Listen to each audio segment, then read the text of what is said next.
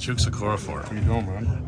Let's talk about this season and what it's going to take for this offensive line to come together. Because you can get good players, it doesn't matter if you don't come together. Yeah, I think it's not just the O line, it's also the whole like offense too. Having a new QB, having new guys in the Mm-hmm. draft, so I think it just takes time for sure.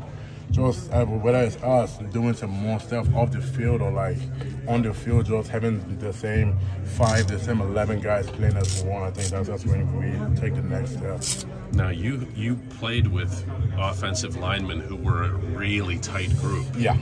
Okay, and you know that's not easy, right? No, not at all. Like I said, every, everything all takes time. I was with Pounce, Al, and Gil, and Dave, and Ramon, all of them. They they were together for what, seven, eight, nine, ten years.